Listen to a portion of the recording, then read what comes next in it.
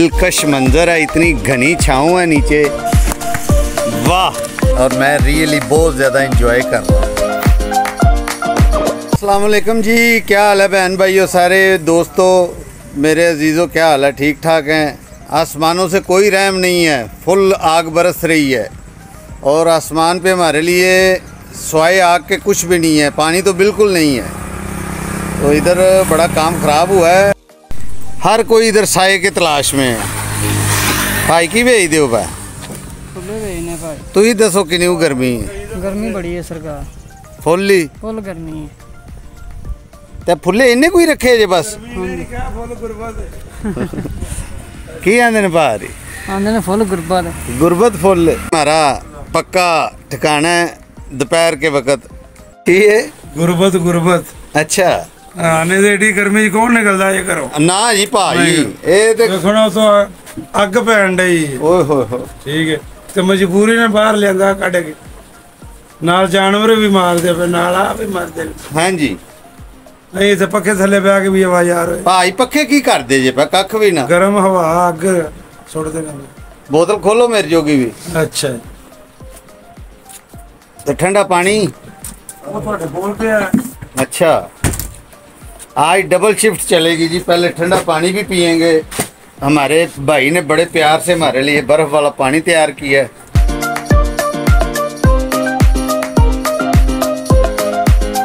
मैं ये जामन के दरख्त के नीचे खड़ा हूँ। बड़ा खूबसूरत जामन है और ये फल आ रहा है इसके ऊपर।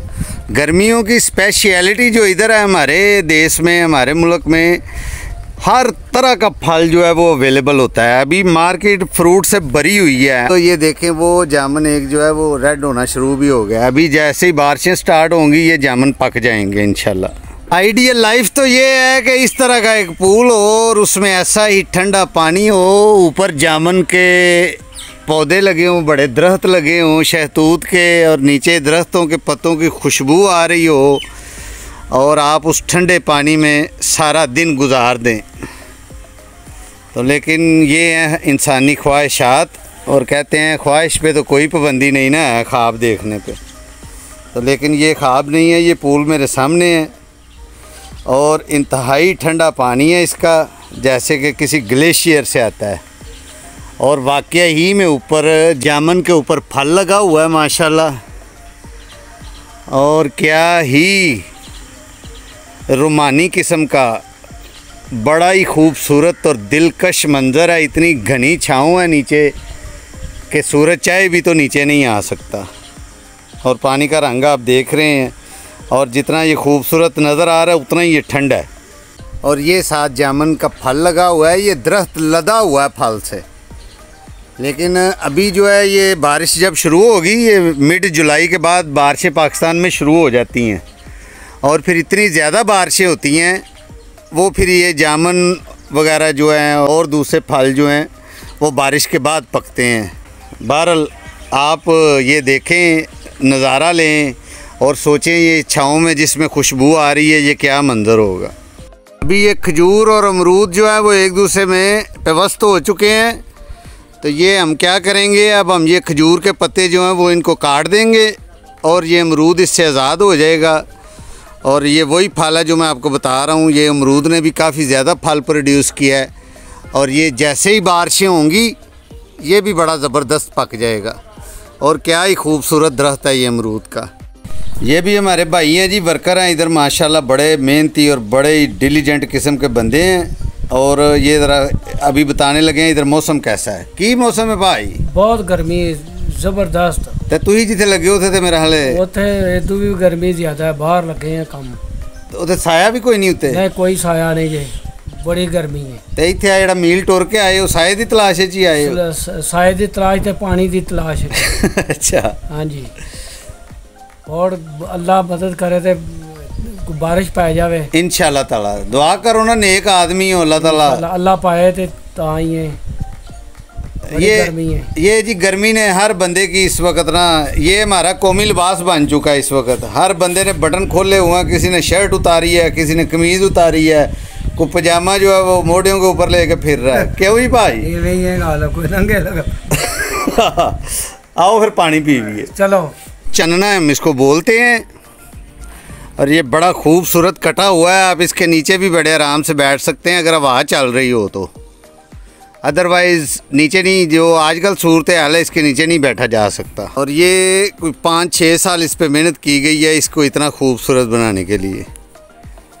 ये द्रांता है जी।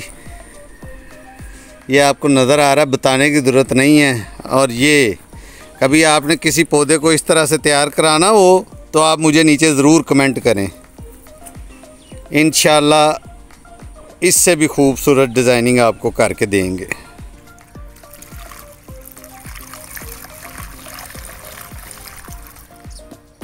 ਚਲਾਣ ਲੱਗੇ ਹੋ ਜੀ? ਹਾਂਜੀ। ਬਿਸਮਿਲ੍ਲਾ ਜੀ। ਤੁਸੀਂ ਨਾਲ ਕੰਡਕਟਰ ਹੋ ਜੀ ਸਰ? ਅਸੀਂ ਜੀ ਇਹਨਾਂ ਦੀ ਸਟਾਰਟ ਕਰਕੇ ਤਿਆਰੀ ਕਰਕੇ ਲੈਣਾ ਹੂੰ। ਇਹਨਾਂ ਗੱਡੀ ਦੇ ਉੱਤੇ ਬਹਿ ਜਾਣਾ ਤੇ ਵੇਖਿਓ ਫਿਰ। ਤੁਸੀਂ ਮਗਰ ਲਮਕ ਜਾਣਾ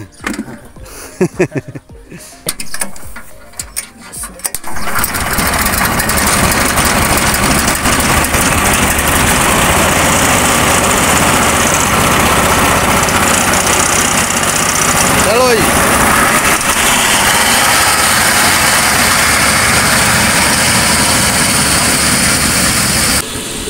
ਇਹ ਹਫਸਾ ਭਾਈ ਭੰਨ ਕੇ ਹੀ ਛੱਡਣਾ ਇਹਨੂੰ ਇਨਸ਼ਾਅੱਲਾ ਜੀ ਭੰਨ ਕੇ ਛੱਡਾਂਗੇ